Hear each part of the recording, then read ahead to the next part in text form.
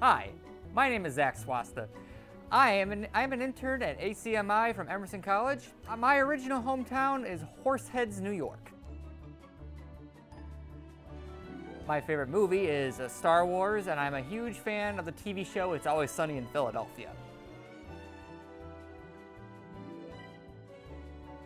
Uh, I want to be an, an intern at ACMI because it is an interesting community experience, which I have always been about. I have always been about the community feel and bringing people together because I am a people person first and foremost, and I like the idea of bringing people together to create good stories for good people.